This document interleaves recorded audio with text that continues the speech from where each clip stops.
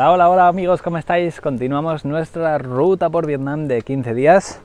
Mi bro Sergio Ortega y yo hoy estamos en Ninh Binh, aquí de nuevo en un super alojamiento que nos ha salido a 9 euros la noche por persona, ¿vale? Con desayuno incluido y alrededor de este paisaje brutal, ¿vale? Esas son nuestras cabañitas con vistas, bueno, la verdad es que es una pasada por estos precios, no nos lo podemos ni creer la belleza de este lugar, aunque si estáis siguiendo nuestra ruta, si estáis siguiendo nuestros vídeos, sabréis que aquí el compadre se pegó un golpecillo con la moto. Una hostia como un copón. sí, mejor definido. Entonces, pues estamos limitados un poquillo de movimientos. Así que vamos a ver qué podemos hacer por aquí, por este lugar, Nim Bin, que lo conocen como el Halong Bay de interior, ¿vale? Por los pedazos de paisajes que tiene. Así que vamos a ver qué podemos hacer teniendo en cuenta que la hemos liado cogiendo este alojamiento porque es precioso, pero está muy lejos de todo. Y nuestra idea era estar aquí en la tranquilidad teniendo una motillo para recorrerlo, pero ahora no es plan de coger una moto. Así que vamos a ver cómo nos las apañamos para recorrer toda esta zona y enseñarosla.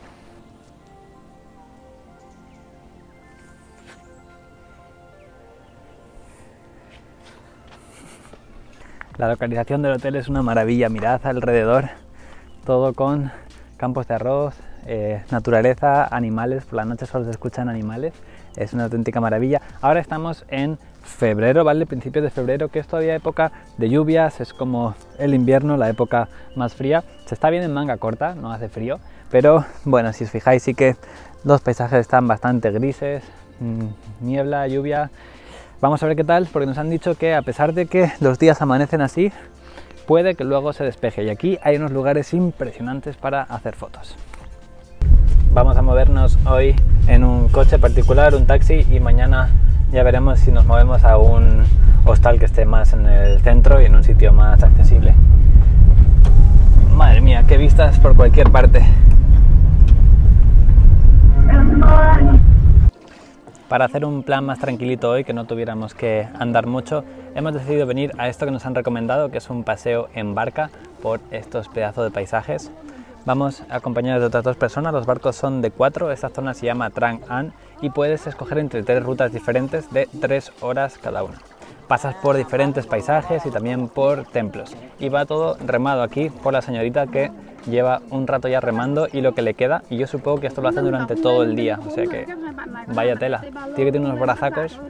El paseo va haciendo diferentes paradas, en las tres rutas puedes elegir alguna que pase por más cuevas, la ruta número uno pasa por muchas cuevas, la ruta número dos por menos y la, y la tercera por poquitas cuevas. Nosotros hemos cogido la del medio que hace paradas también en bastantes templos y debe ser la más icónica, la de más paisajes. La otra está más centrada en templos o en cuevas y nosotros como nos gusta más naturaleza, paisaje, pues hemos venido a esta. Y está guay eso porque te van haciendo paraditas en templos.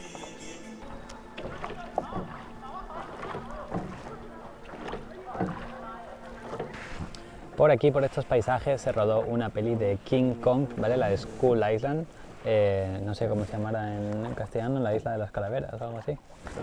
Sí, y es que no me extraña porque esto es una localización brutal para, para películas, para fotos, para todo.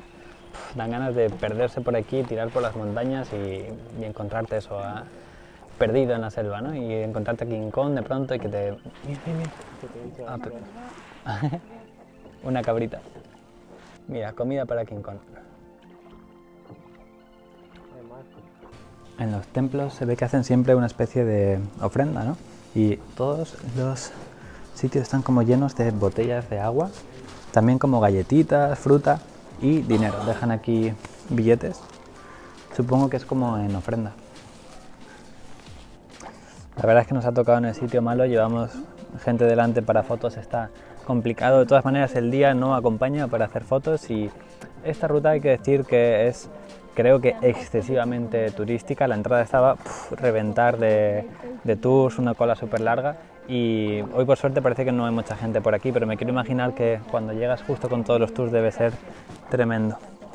Y bueno, en este caso pues no pasa nada porque estamos de chill, de relax, pero si queréis venir a hacer fotos quizás esto no sea lo más adecuado o si lo hacéis os recomiendo que cojáis una barca privada que directamente se da a pagar el doble supongo, pagar por cuatro personas que a nosotros nos ha salido 10 euros por cabeza, pues supongo que el barco en total será unos 40 euros. Siguiente parada, seguimos motorizados sin andar, ahora estamos en un cochecillo eléctrico porque nos vamos a visitar una pagoda que sinceramente una vez llevas mucho tiempo en Asia, después de ver muchos templos, al final acabas acabas cansándote, sinceramente. Así que vamos a ver si nos sorprende esta vez, si es algo diferente, porque dicen que esta es bien bonita. Aunque también nos han dicho en la entrada que hay que andar tres horas, eh, no sé si siete kilómetros, entonces creo que eso va a estar complicado para nuestra situación eh, post accidente motorístico. Pero bueno, vamos, vamos a ver qué nos encontramos.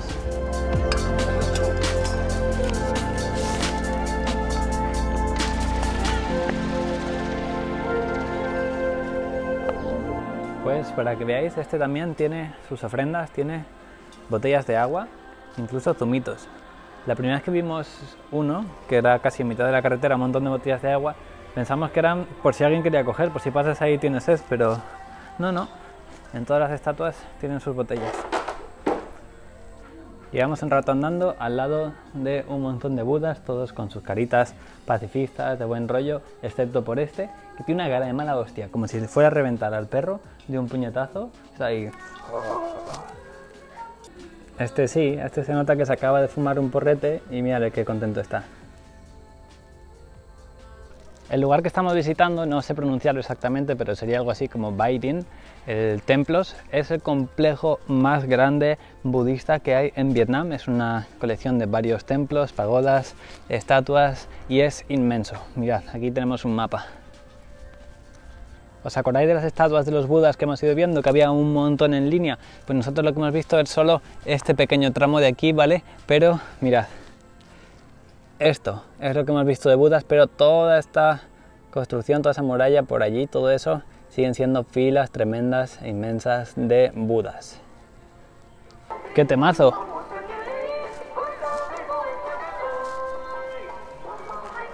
Cambio de tono. Este lugar es un lugar muy importante de peregrinaje para los budistas, especialmente para los vietnamitas, pero para el budismo en general por ser un templo tan grande y la verdad es que por dentro es espectacular. Oh, es una canción de Año Nuevo. Dice Happy New Year, porque estamos en febrero y se me hace súper raro, pero Happy New Year. Aquí es Año Nuevo para ellos. Venga, todo el mundo, a cantar. Oye, pero es un buen sitio para un concierto esto, ¿eh? Es bien grande, con este fondo, yo lo veo. No estoy seguro si el vietnamita se lee como el chino, que se lee al revés, ¿no? De derecha a izquierda, pero aquí el toilet de hombres, el baño, en vez de man han puesto nam, que si lo ves al revés es man. Igual es porque ellos leen al revés, pero sí. Sí, sí, qué curioso que por cierto había que pagar por entrar al baño. Eh, los templos han sido 30.000 mm, dons, que es equivalente a un euro y poco, está bien. Y el paseo en barco sí que era más caro, eran cerca de los 10, 11 euros pero para estar tres horas casi con la mujer remando, pues ya, ya está bien, bien pagado. Para llegar hasta Nimbin, el lugar donde estamos ahora, esta zona, ¿vale? Cogimos un bus nocturno de los que ya habéis visto en vídeos anteriores, de estos que vas ahí tirado durmiendo, y fue un bus que nos, llegó, nos dejó a las 3 de la mañana aquí, pero bueno, al menos descansamos un poquito. Son buses súper cómodos para trasladarse de un sitio a otro porque Vietnam es súper largo y las distancias son muy largas, así que estos buses te van llevando como a puntos concretos, que está muy, muy bien. Aquí en Ninh ¿vale? La zona con más eh, sitios turísticos o para visitar están no tanto en la ciudad de Ninh sino en una zona que se llama Tam Kok, ¿vale? Entonces, si vais a venir y os queréis quedar por aquí, es, más recomendable ir ahí porque hay un montón de alojamientos y está todo más a mano. Nosotros, sin embargo, hemos cogido en mitad de la nada, que también se está guay, pero al final dependes del transporte para moverte. Buenos días, un día más aquí en el paraíso, en estas super cabañas.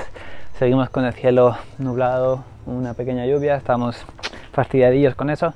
Pero bueno, puse en Instagram una historia aquí de la cabañita esta y del precio y todo, y wow, recibí un montón de preguntas que cómo se llamaba este sitio, que dónde estamos, etcétera. Así que os lo dejo por aquí. Ese es el nombre del lugar. Son eh, unos 9-10 euros por persona, ¿vale? En total nos ha salido cerca de los 20 euros. Y todas las cabañas son espectaculares, mirad.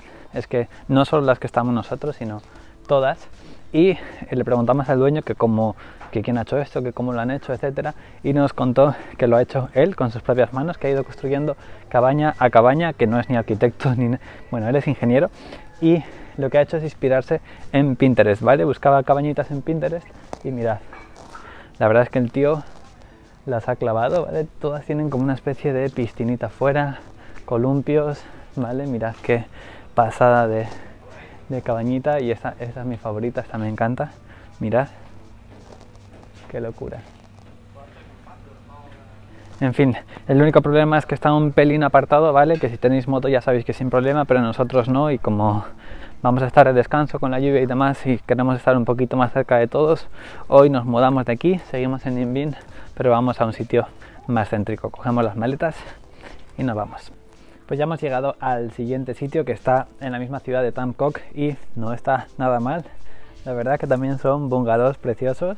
Este además tiene piscina, vistas que si veis al fondo igualmente también tenemos las vistas de las super montañas, ¿vale? Tiene sauna incluida. Este sí que es un poquito más caro, son casi 20 euros la, la noche por persona, pero claro, está en el centro y son más lujos, tiene su, su sauna, su cabaña con baño dentro, que el otro no tenía baño dentro. Y mirad qué pedazo de camas, ¿vale? Uf, es que puedes dormir aquí oh, en cualquier posición, que te sobra espacio por todas partes. Y son camas dobles. wow, bueno, dobles, son cuádriples para cada uno. A descansar hoy un poquito, que nos lo tenemos merecido.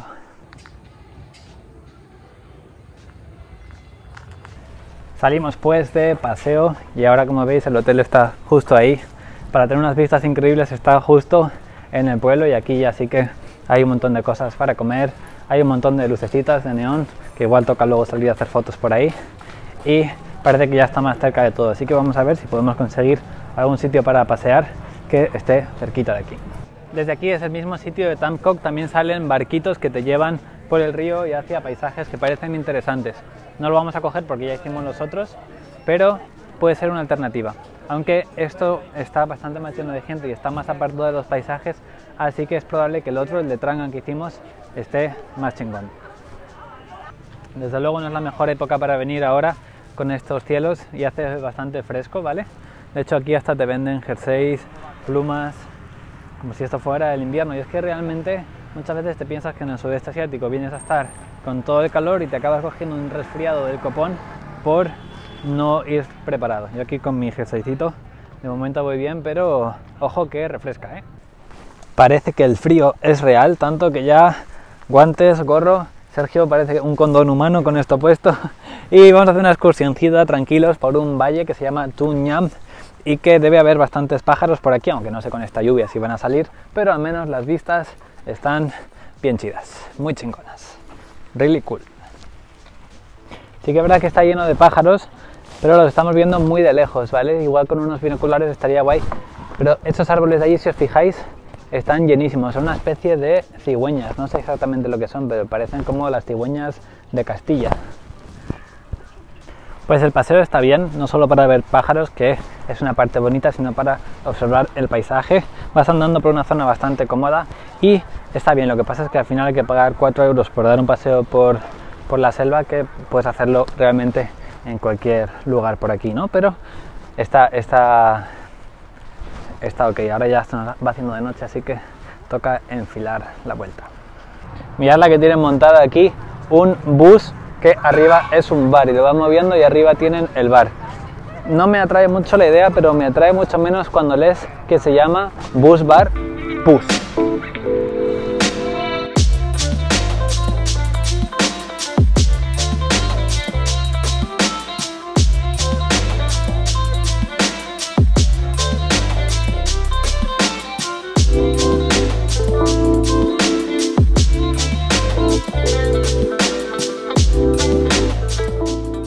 Pues después de tres noches en Nimbin, una zona preciosa, aunque no hemos sido muy afortunados con el clima, ya estamos en el siguiente destino que no vais a saber cuál es todavía, pero os voy enseñando ya la preciosa y sexy room que nos han puesto aquí con una cama doble para los dos, con florecitas, tope romántico y nada, sabréis cuál es en el próximo vídeo. Chao, chao.